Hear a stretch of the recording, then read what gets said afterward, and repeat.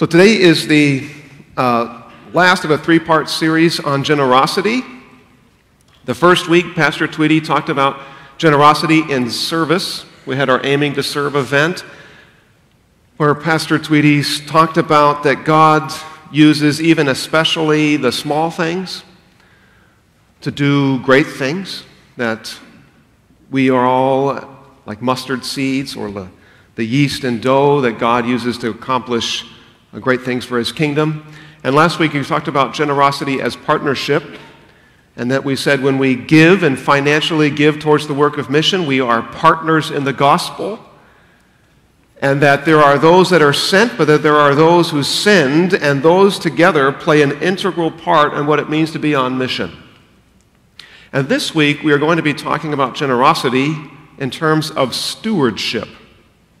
Generosity as stewardship.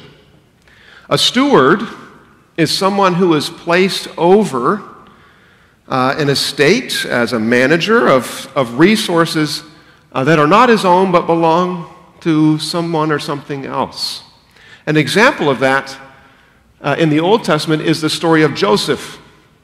Joseph was a, a young man who was uh, sold into slavery by his brothers. You remember the Joseph in the coat of many colors? Because of his father's, Jacob's favoritism of Joseph, the other brothers were jealous. And so they intended on killing him, but instead they sold him into slavery. And he ended up in the house of an Egyptian master whose name was Potiphar. And when Joseph came into Potiphar's house as a servant, the text says that the Lord was with him and the work of his hands, so that everything he did prospered. So naturally, Joseph ascended up the ladder, so to speak, until Potiphar placed him over everything in his house. And here's how Genesis 39 puts that. It says that Potiphar put Joseph, him, Joseph, in charge of his household, and he entrusted to his care everything he owned. So Potiphar left everything he had in Joseph's care with Joseph in charge. Joseph was a steward of Potiphar's house. And that's how we want to understand generosity this morning, or discuss it in terms of stewardship, using as the basis our text from Luke 12, uh, starting in verse 15 through verse 21. Now, this is the parable Jesus tells, which is often called the parable of the rich fool. So let's stand in honor of God's word this morning as we read this parable of Jesus, Luke 12, verses 15 through 21. And then he, that is Jesus, said to them, Watch out be on guard against all kinds of greed. Life does not consist in an abundance of possessions. And he told them this parable The ground of a certain rich man yielded an abundant harvest. He thought to himself, What shall I do? I have no place to store my crops. And then he said, This is what I'll do. I will tear down my barns and build bigger ones, and there I will stir up my surplus grain. And I'll say to myself, you have plenty of grain laid up for many years. Take life easy, eat, drink, and be merry. But God said to him, You fool. This very night your life will be demanded from you. Then who will get what you have prepared for yourself? This is how it will be with whoever stores up things for themselves, but is not rich towards God. Though the grass withers and the flower fades, the word of our Lord remains forever. Please be seated. Let's pray. Heavenly Father, we thank you for the gift of your word. We thank you for the Holy Spirit that carried along the inspired writers to write this down. God, we pray that our time this morning, that your Spirit would illumine this text to our hearts and that we would be transformed because of our encounter with you through it. We pray this in Jesus' name. Amen. So, as we talk about stewardship, we want to say that stewardship is, uh, well, at least as we talk about it this morning, it has three issues to it. We want to say first that stewardship is an issue of the heart. The second thing is we want to say is that stewardship is a matter of the hands. And thirdly, is that stewardship is a matter of the feet. So, stewardship is a matter of the heart, the hands, and the feet. So, what do we mean when we say that stewardship is a matter of the heart? Because if we're going to talk about generosity, generosity begins here. Generosity begins with our heart. And that's exactly where Jesus starts as well when he addresses this issues with his hearers. He says this in verse 15 Watch out, be on guard against all kinds of greed. Life does not consist in an abundance of possessions. Life is that which we draw, or is our source, really. And what Jesus is saying is your source, where you draw life from, your identity, who you are, does not consist in the abundance of possessions. Because all of us have a void in our lives apart from God. God is the only source of life. But without God, or when we seek to find a substitute for God, we'll grasp at other things to fill that void. And material possessions is a pretty natural place for us to go. And so we think that when we get something or if we have something that we're going to be drawing life from it. And a person who exemplifies that will naturally be greedy. And greed is defined as an intense and selfish desire. Intense and selfish desire. And in a person who is striving to find life from the abundance of their possessions will naturally be greedy. Because what happens is, is when we try to find life in our possessions, that doesn't work.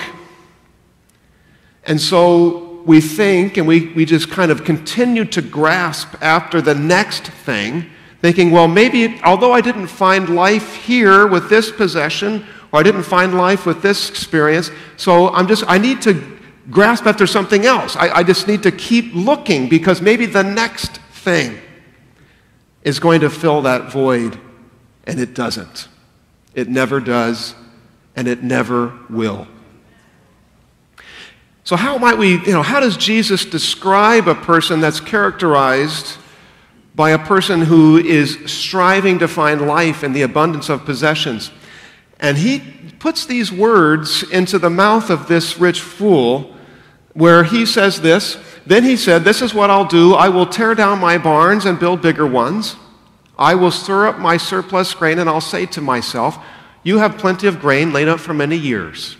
Take life easy. Eat, drink, and be merry. Now, one key into this man's heart is the use of the first person personal pronoun. And so, if we it kind of emphasize that, it, we read the text like this Then he said, This is what I'll do. I will tear down my barns and build bigger ones. Then I will store my surplus grain. And I will say to myself, me, he says you, but he's meaning him, me, you have plenty of grain laid up for many years. You, me, self, take life easy, eat, drink, and be merry. Now, it's important to note that what is at issue here for Jesus is not the fact that the man had a surplus in his crop. That's not what's at issue. And that's important to note that there are certain people and certain situations where God allows them to produce a lot of production, a lot of oh, surplus, a lot of money, a lot of whatever. That Jesus doesn't condemn that. Some people are just really good at making money. Some of us aren't so good. What's not at issue here is that. What's at issue is the man's heart. And the man's heart was totally inward and selfish. In fact, really, the opposite of greed is mercy. Greed is inward, greed only thinks about the self, where mercy is outward and is interested in others. So, one thing we might ask ourselves is well, how how might I know this is me? How might I know this is characterizing me? Is there an issue of the heart in my life when it comes to my possessions? First off, we should all recognize that probably to some extent, yes, for all of us. We're in a pretty materialistic culture here. So, there's not that other cultures don't have this temptation as well, but certainly in a materialistic culture like ours, it's going to be a pretty natural place to go to find life. But just as maybe some further thoughts to say, probably all of us to some extent need to be on guard. That's why Jesus says, be on guard, right? Watch out. One thing to think about is to, when you go home today, look around your house. Think about do you have an overabundance of possessions? And I'm not the one that can gauge that for you. You have to gauge that for yourself. And this doesn't, just because you have a lot of stuff doesn't necessarily, in and of itself, means that you have greed there. But it might be an indicator because if you go home and you have this over an abundance of stuff, could it be is the reason is because you find life perhaps by buying and purchasing things? When you get depressed, do you go to Amazon to make yourself feel better? When you feel low, do you go to Target so that you feel better? Because when you go through the checkout line and you buy that thing, life seems a little bit better than it did before you went. If that's the case, then you are to some extent trying to find life in an abundance of possessions. Possessions is somehow something that you are using to find life other than God. And that's something to ask yourself, only as a question. The other thing to ask yourself, too, is just as a question when you buy things, do you buy things for their usefulness or do you buy things for their status? Do you know the difference between those two? Usefulness versus status.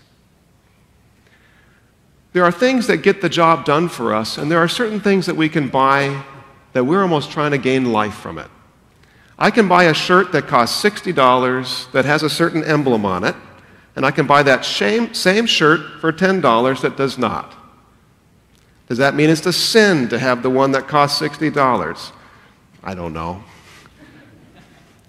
But are you trying to draw life from it? Is that where you draw life? Look at me, I have this shirt, and that makes me into a certain kind of a person? If that's the case, your identity, to some extent, is being drawing life from your clothing. If you have an iPhone, what is it? What are we at to now? What, what's the number now for an iPhone? Is it 10? Is it 11? Is it 10? X. Well, that's a 10. There you go. X is 10. In Roman numerals, at least. What's the one before that? Did they skip 9, if I remember right? So let's say you had an iPhone 8. And it works fine. Do you need an iPhone X, 10, whatever?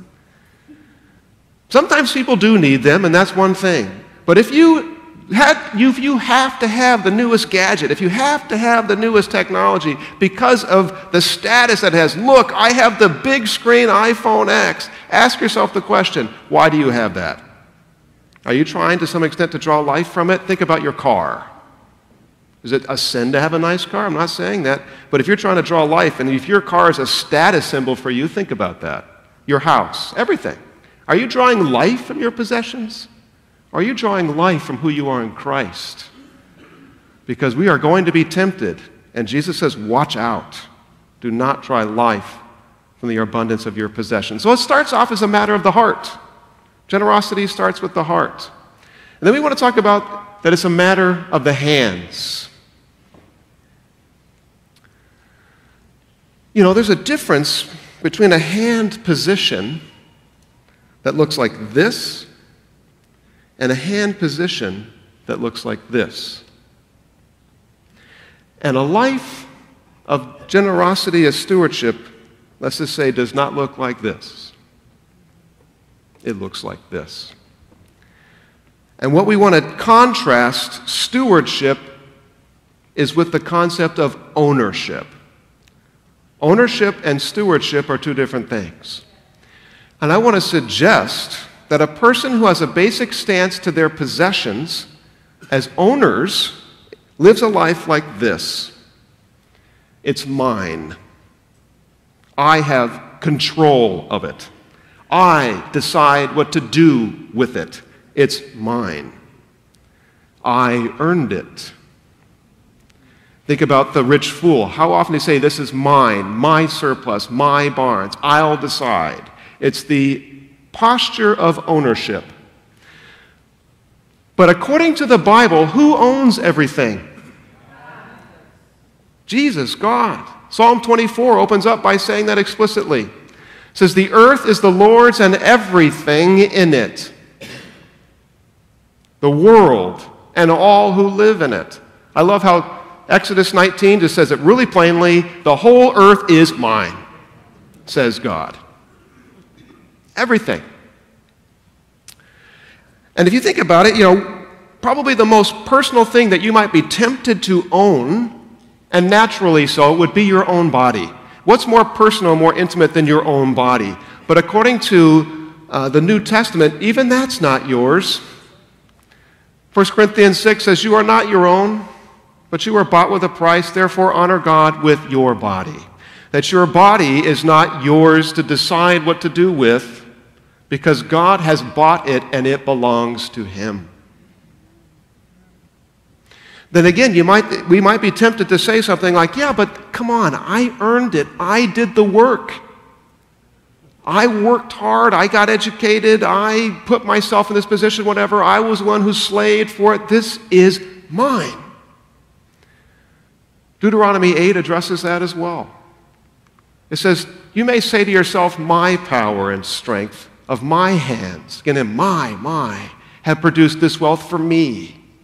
But remember, the Lord your God, for it is He who gives you the ability to produce wealth. It comes from God. You cannot breathe apart from God. C.S. Lewis, he's just wonderful, but C.S. Lewis puts it pretty well and pretty memorably.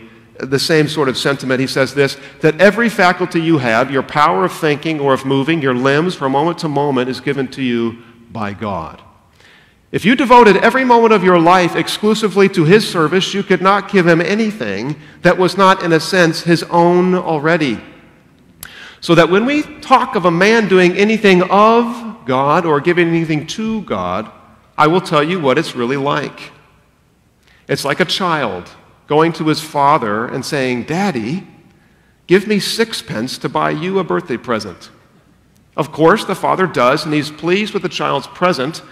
It's all very nice and proper, but only an idiot would think that the father is sixpence to the good on the transaction. And yet, oftentimes, this is how we think about God. Can you give anything to God that He does not already have? No. It all belongs to Him. So if we are going to have a stance of stewardship, then instead of sitting like this, we need to have a posture of our hands like this. This posture recognizes that nothing belongs to us, everything belongs to God and we offer it up to Him. Which means that God is free to do whatever He wants with it. And by having this hands posture, you are making all that you are and all that you have available to God to do what He wants with it. He dictates what you do, which is why the Christian life is a life of faith and a life of discernment. What is God asking me to do? Now, He knows what you need, and the scriptures say that. He knows that you need food, He knows that you need clothing and shelter. And so God provides for His people.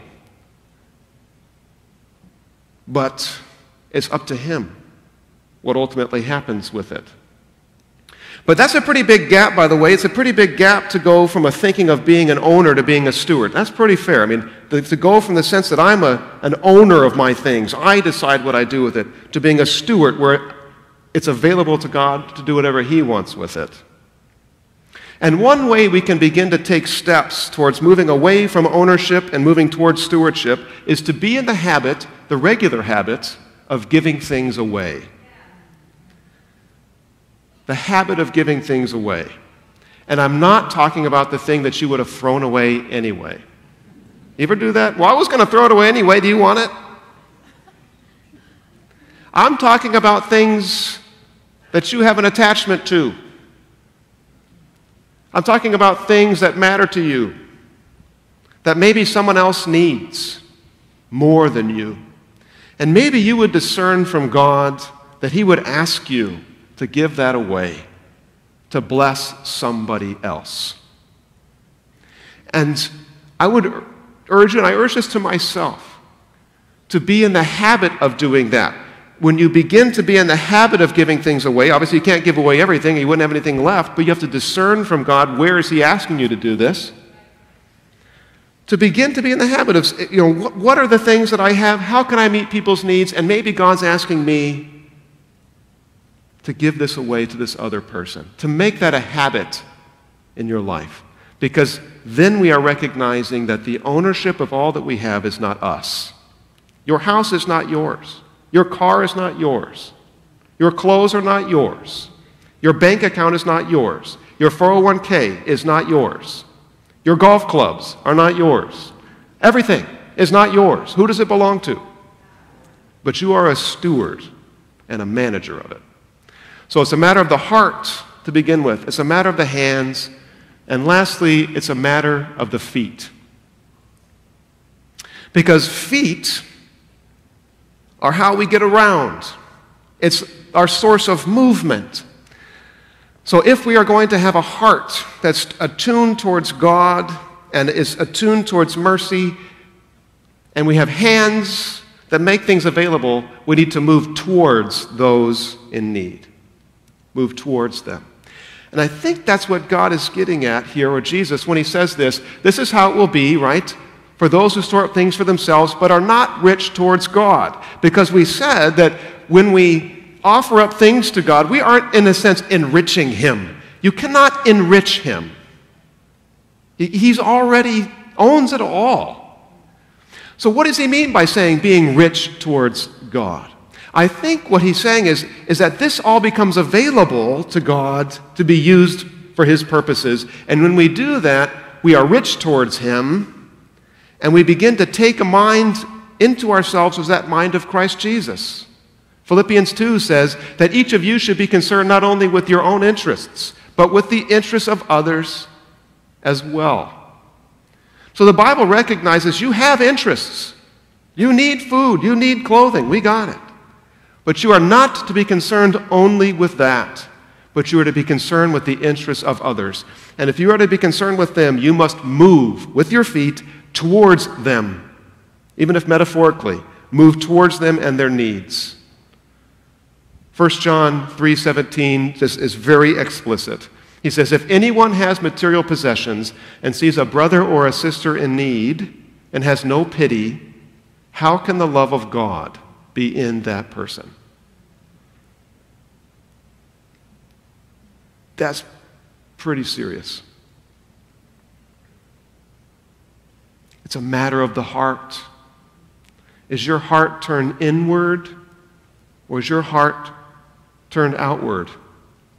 And when we live this life, we are, we are moving into the ideal of what God wants for us individually and as a church, as a people who are to be God and Jesus to the world. And we see this in Acts chapter 4. Acts chapter 4 says, No one claimed that any of their possessions was their own, but they shared everything that they had. And God's grace was so powerfully at work that there was no needy persons among them. No one claimed that their possessions were their own. In a culture like ours, that can be a difficult thing to hear. Your possessions are not your own. In a sense, they belong to others. In a sense. Because if there's another in need and you don't meet their need with the abundance possessions that you have, the love of God apparently is not in you. And if the love of God is not in you, then there's bigger conversations to be had about the gospel and what it means for the grace of God to meet us where we are, to transform us and to make us and to mold us into little Christs. So, if the issue of the heart is to ask the question, look at the abundance of your possessions, what does that say about you? Is there something going on in your heart that you need to be before God and talk about God with that? Are you, do you buy things for their status and the way it makes you look and the life you draw from them? Or because they're useful and you need them? Can we be in the habit of giving things away as we offer everything before God? And lastly, if it's a matter of the feet, this is a final thought. We are pretty quick, or let's just maybe say, I'm pretty quick, when I see someone in need to think someone else will do that, someone else will help them. You know what I'm saying? Someone else will get to that. I'm busy. I don't have enough money. I don't have the resources to meet the need. Somebody else will. Somebody else will do that. I'm suggesting that we stop saying that. And rather than saying someone else will do it, let's begin to ask the question how is God asking me to do it? What way can I enter into somebody's life? Even if it's not a big deal to me, maybe it's a small thing, how can I begin to do that and to meet that need? Rather than saying, you know what, somebody else will do it. Jesus didn't say somebody else will do it. Jesus said, I will do it. And how can we take on in ourselves the mind of Christ? Because generosity as stewardship begins with the heart, it moves to the hands, and it ends in the feet. Let's pray. Gracious Heavenly Father, Lord, we thank you that you, Jesus, had a heart full of mercy, attuned to our need and the needs of creation.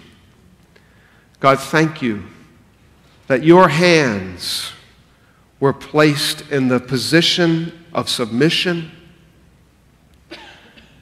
recognizing that all things belong to God and that your feet brought you into our situation and bring you into our situation right now in 2018. And God, I pray that you would transform our hearts, our hands, and our feet to make us generous and to make us stewards of your resources, and that we would be wise and merciful and generous stewards. We pray in Jesus' name. Amen.